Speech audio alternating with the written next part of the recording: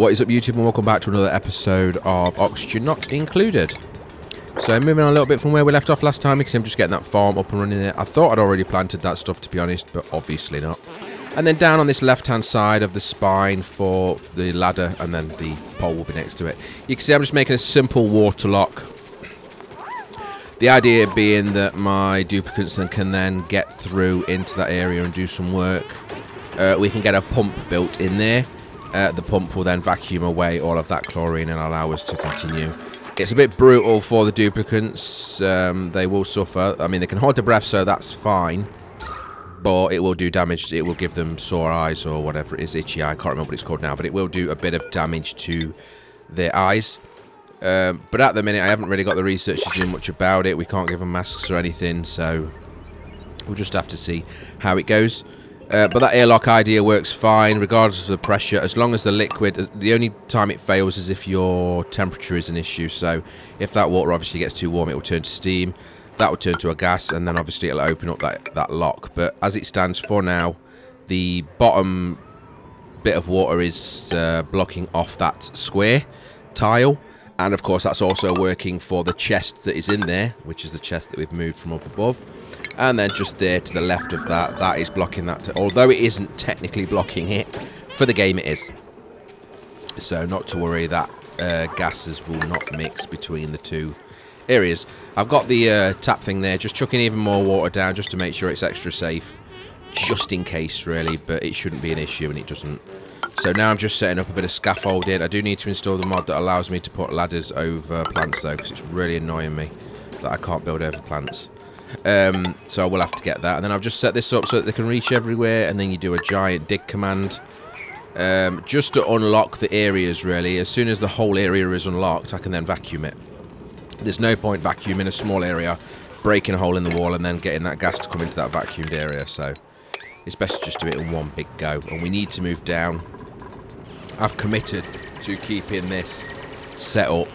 Um, so we're going to go with that and see how it goes. So another 3D print available for another duplicate. Just having a look what there is. That's a nice science one there, but we don't need science. We need agriculture and cuisine really. So you can see that that central one is definitely the best. Just to get somebody that is one good cook, because we need to get that up and running to get the foods improved for the morale. And then, of course, we need agriculture for farming to get the... It will be the muck root first, I guess, but um, it's the easiest one to do and get that up and running. And then as soon as we get the cooker, uh, the first sort of proper food processing part, we can pickle them. Uh, and I believe it increases the mood by one. It's not massive, but it's better than nothing, and it's consistent. Um, and then we just need to check on our infrastructure. So you don't want to run out of oxygen. Obviously, the game's called Oxygen Not Included. People die without oxygen. Uh, we want the water to make sure, and that's clean water, so the blue water, nice and simple in the game. Dirty water is yellow. Um, and then, of course, we're going to go into critter ranching by the a bit further on, just to make sure we've got plenty of barbecue, because everybody likes a barbecue, right? Uh, the hatchlings that you can see all over my base, actually, at the minute, they're everywhere. Um, they'll likely be the easiest ones to do. Whether we breed them up to morph them into the coal uh, and diamond, we'll see. Coal's a good one. Diamond, yeah, it depends.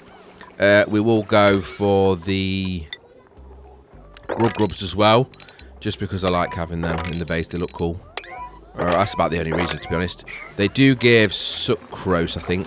Um, but yeah, they, they just look cool and then you get them from the Sweetles. And then of course we will look at getting some of the uh, Dreckos uh, bred over to the plastic scales. Because that way of getting plastic is a lot less difficult than using oil and just so much heat. It's a nightmare to control. So yeah we'll, we'll use the farms hopefully to get most of that resource. Never farmed Pokeshells before so I might try that but we'll see Okay, so moving forward again, I'm realising that the um, running machines are not working. I did build two, and the duplicates are using them, but the batteries are draining too quick. Now, I could chuck down a load more batteries, but realistically, we need to get into the power situation anyway. So right over here on this far left-hand side, you can see that ladder that's next to it is for the spine. um, and it will be the spine. But we don't need that just yet. That's a bit excessive for the amount of power we're actually draining. You can see them running just there, actually, on the other side. But So we're going to get one of these in, put a storage thing next to it that's just for the coal. And then I'll chuck in a double airlock manual, though, unfortunately, because we haven't got any better. Double airlock to try and restrict some of the gases and the temperatures of the gases uh, into the base, just to try and keep that temperature away from the base. The batteries obviously also increase the temperature, so they will need moving as well. Um, you can see in the base I've actually got the massage room set up for stressed duplicants, but they ain't powered up yet because there's no way we can run them with the structure that we have, the infrastructure that we have, should I say. So coming in with the batteries over at this same area, and then as soon as we get smart batteries, of course, that'll be the next step as well, and that stops us wasting fuel. Uh, the reason I'm doing these under an emergency is because although I made it very clear about the temperature, I decided to try and build a large battery section or battery storage in the middle of the base. Um, I am human, also I'm an idiot. Um, so you can see there, like, I started building it, I got about halfway, just over halfway, and then thought, oh, crap. No, I don't want it there because it will just cause more problems than it will. Well, it will, it will generate more problems than it will solve, actually. So cancel them and get them ones ripped down, and we'll have the power storage in the same place as the power supply, so that the base remains cooler and also prettier. Because remember, them buildings and the generators, the batteries, all of the all of the above, the decor on them is terrible, and I do try and make the decor look nice. So that's why in the in the toilets there are gaps between the toilets. Uh, there are gaps in the mess hall, three gaps there you can see. There are gaps everywhere, and that is all going to be for statues of some description or artwork of some description. I just like to do it that way. I don't have a specific thing, but I will work with it regardless. Right, as I mentioned, uh, with all the hatchlings around, there's obviously a lot of hatchling eggs, so I have put them all into one storage building, uh, and then put an egg cracker down. That will mean that we can get them smacked open and straight on to the grill. The grill you can see now is being built. We do have someone that can run it, I believe, straight away, so we'll set that up for uh, fried eggs, or it's actually omelettes it makes. So omelettes, um, and all hatching eggs up until the point that I want to actually do anything with them. Mush fries just to improve any mush that we've got that we've made, just to improve them. Pickled meal, obviously, we're going to be farming that shortly as well. Fried mushroom and gristleberries also quite easy to do. The mushrooms grown in the dark, of course. The gristleberries need light, so both of them not too difficult. And then barbecue, as soon as we kill something we'll along like that and get the meat from it, and then we can turn that into barbecue. And to be honest, uh, all of these hatchlings that you can see wandering around will be murdered very shortly and turned into said barbecue. In fact, I'm doing it right now. There we go. So that will give us a nice big chunk of meat and therefore a nice big chunk of barbecue. There we go, it's cooking away on the grill now. You can see an omelette on the floor. So we are making progress. The mush fry, the omelettes, the barbecue. Just need to keep that up. You can see them working in this area, and as I said, although they can hold the breath to stop them causing any problems with the chlorine, it will damage their eyes. Uh, I need to make sure as well that I immediately pick up any of the bleach stone that is gassing off, because until that's moved, the whole process won't work. So setting that chamber there, the container there as emergency, um, that will make them force them to pick up all of that bleach stone that's off gassing and put it in there, which will stop it off gassing because it is under a liquid. We will then get the pump in there and get that shoved into a, another room. We have to make a room to store it for now because there is unfortunately no tanks unlocked from the research. And while I'm at it, I've got the research done for the pump, for the plumbing. So we'll get this water moved over to our water storage tank.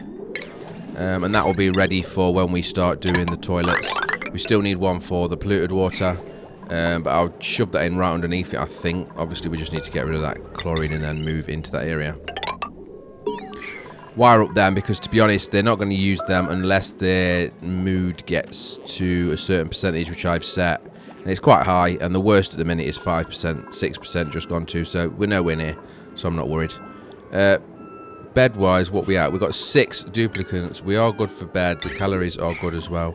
So all in all, I think we've got a good uh, progress start to our space. Unfortunately though, both up and down is now awkward to expand. So it's going to be a bit slow or slower progress, but we will get there.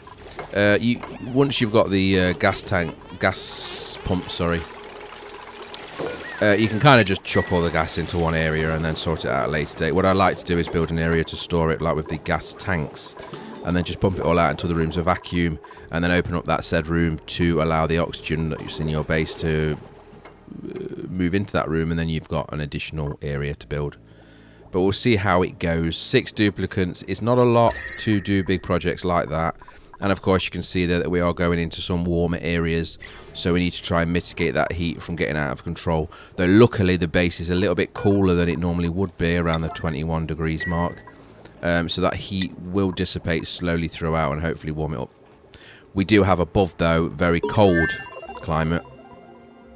So we do have all of the facilities we need to cool things up or cool things down or warm things up. There you go, got it right that time. Back now, and you can see I've got the pump up and running, so that is starting to excavate. Mm, it's probably not the word, right word, but pump out all that chlorine, and there's some natural gas in there as well. Of course, I've got to finish it off just leveling out to match the width of the base.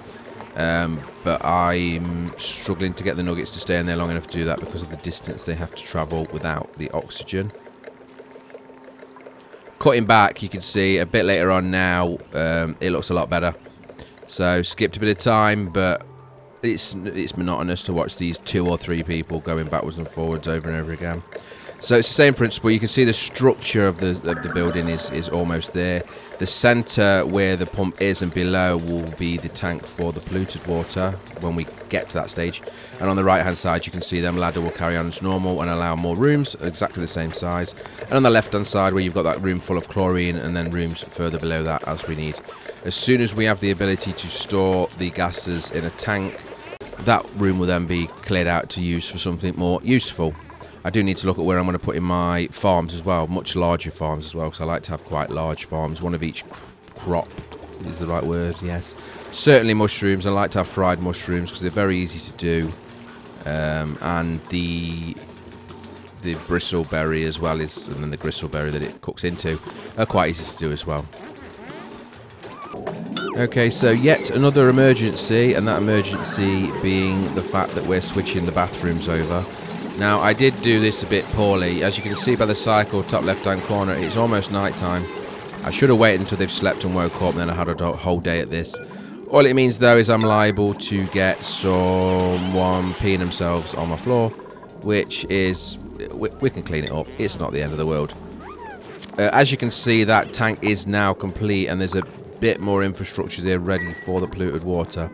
That's going to come from the toilets, the sinks and showers once we get there. So putting in the toilets and then immediately realising that no, you put the sinks at the door, not the toilets, because you want them to wash their hands as they leave the bathroom or the restroom. So you switch out the toilets and put the sinks, and there we go, people messing themselves. But that's expected and not too difficult to clean up. So two sinks, two toilets per bathroom, eight in total. We've got six duplicants, so that's more than more than sufficient for what we need. Of course, this will allow us to push to eight without any problems. Um, Bed-wise, we've only got six, but adding two beds is easy peasy. And then you've just got to watch your food and oxygen levels for increasing your duplicant count. Now there is a lot of plumbing to do. I'm sure you guys, if you're watching this video, you've done this many, many times before. The white, of course, is in. The green is out you want your clean water to go in and then the polluted water will come out once they use the facilities. Making sure to keep the piping segregated from itself so that clean water is clean water and the dirty water is the dirty water. So that obviously is all going to be the clean water pipe. And then I'm just going to use a couple of bridges to throw over, uh, or go over should I say, that pipe with the polluted water and that will go into the new tank that we have created. We can easily then turn the polluted water into clean water at a later date with the sieves and some sand filtration media. Um, but we haven't unlocked them yet, and to be honest, we've got all of the time in the world because until the tank's full, it's not critical. Um, so yeah, we, we can use that. And in the meantime, we can use that polluted water for certain crops and breeding Pacu if we wish to. Um, but I think the fish are not really the ones that I'm interested in doing, so I, I very rarely do them. I don't know how easy or hard they are because I don't really pay much attention to them. I should probably try it, and if you guys know, do let me know. But I like to farm um, hatchlings and grub grubs mainly. And there we go. We look like we have a decent amount of infrastructure ready and waiting to be used. You can see there that there is some polluted water moving along the pipe. A little bit there I missed that I didn't quite prioritize the right level. So as soon as that's done, there we go. Uh, that should allow us to use all of them. So eight sinks, eight toilets, uh, temperature wise we're good because obviously we took them batteries out and you can see there the polluted water heading down the dirty water line and into the sink that we've set up. Don't worry about the clean water in there, that's irrelevant. Um, we can get that probably mopped up actually if we can, well, we can try to anyway. And then of course I'm just going to throw in a uh, bottle emptier inside the polluted area because we did have some accidents and I mopped up the dirty water and we need somewhere to put it. Remember the dirty water off gases polluted oxygen. So putting in some airlocks there to stop that should help and then once we get them we can get the air filters to clean that and then it shouldn't be an issue. So also top right you will see eight showers as well. They're not plumbed in, they're just built for now. But that is our next step, making sure that the sinks are only right. So for them going into the, sorry, out of the, the, the bathroom. Um, of course, if they come from that left-hand side with the batteries, it's a different matter, but I don't care about that. It's not going to be an issue.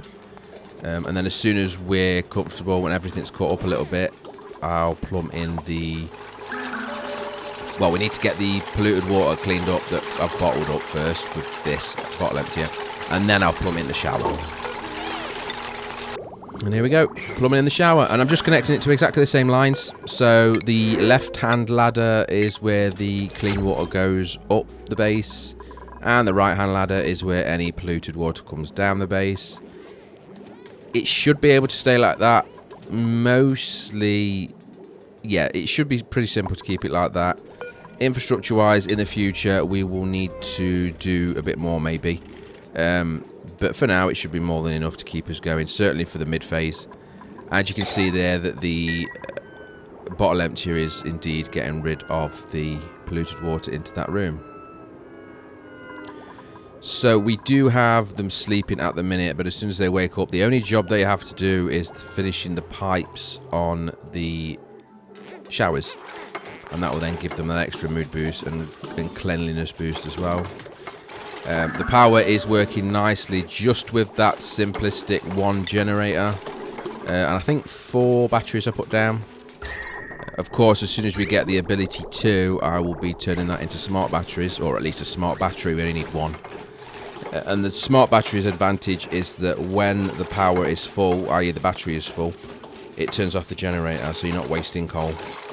Um, we do have 22.4 tons of coal. You can see that's one of the two resources that I'm keeping an eye on permanently. As well as 42 point, no, 41.9 tons. It's just changed again. I'm not going to keep reading that number out. Of algae. And there you go, wide in. So that clean water is now making its way up through all of its junctions to the... And it's done. Up to the showers and they're now ready for the duplicates to use. And as soon as they do you'll get the polluted water then going down the same place as the toilet water. So that's all set up and fully fully plumbed in. We just now need to work on this area moving down the base uh, best we can and of course moving over to the left here we're going to get this room dug out as well just so that we've got somewhere to put things should we need it uh, I'm going to quickly go through here and inspect everything just to get the uh, data disks from that stuff before I do any destroying of the facilities. We do need a specialist to, and yeah, we've unlocked the other planetoid there from the teleporter. We won't be using that just yet. We need to get the infrastructure a bit better here first. Uh, you can see a hot tub as well that we can use from. Um, but there's a lot of chlorine that we need to sort out before we can look at doing anything exciting like that. And that will be in another episode. So thank you very much for watching. If you liked the video, please click like. Any comments are welcome as always. Take care. Goodbye.